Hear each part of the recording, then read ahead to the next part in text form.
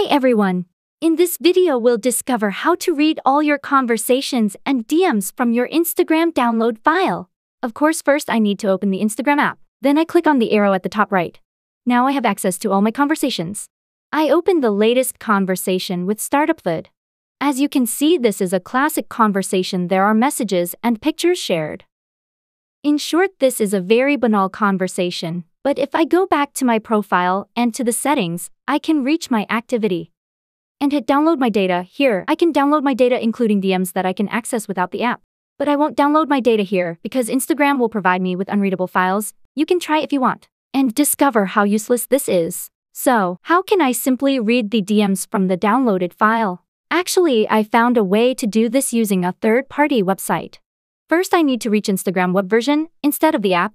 So I log into my account, entering name and password of my account. Here I choose to do not save my login details on this browser, but you do as you want. Then click on my profile picture at the bottom right.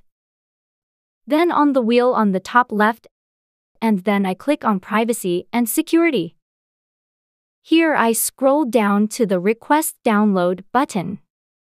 And here be sure to select JSON before you hit next.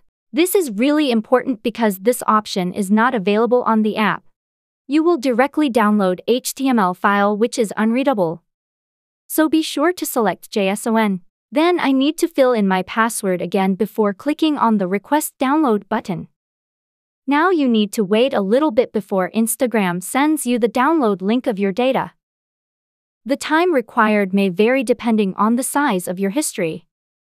According to Instagram, it can take up to 14 days to receive this email, but as you will see, for this example, it took less than 5 minutes. Once you received the email from Instagram, click on Download Information, then fill in your password. I take this opportunity of this pause during the video where I am just filling in stupid passwords to let you know that what I am showing you works. Whereas you use an iPhone or an Android, you will be able to read and save your conversation pretty easily. Again click on Download Information and choose your favorite storage location on your phone. Personally, I chose to save the file to the Downloads folder of my phone. Now I will use my Files browser app. Here you can see the file we downloaded uses the zip format. If I click on it my phone will unzip the file, creating a folder that I can browse.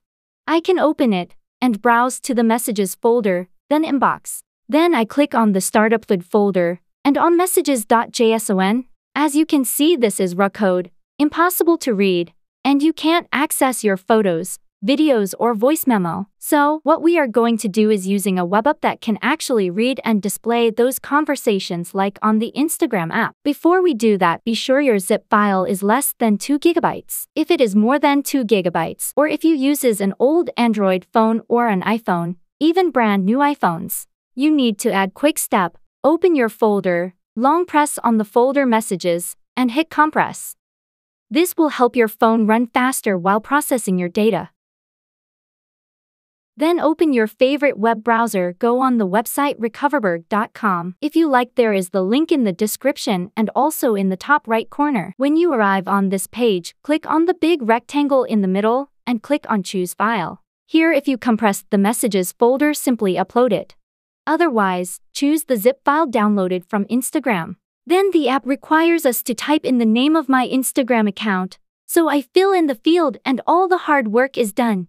As you can see we have recovered all the conversations of the account, including the one with StartupVid we saw at the beginning of the video, and as you can see there are all the messages displayed and easily readable, even pictures that have been shared. And if I reopen the Files app and go back to see precisely this conversation with StartupVid, as you'll see it still remains almost impossible to read. And you do not access your medias. Whereas on Recoverberg you can read and save all your conversations. I hope this video was useful for you if so drop a like. Bye.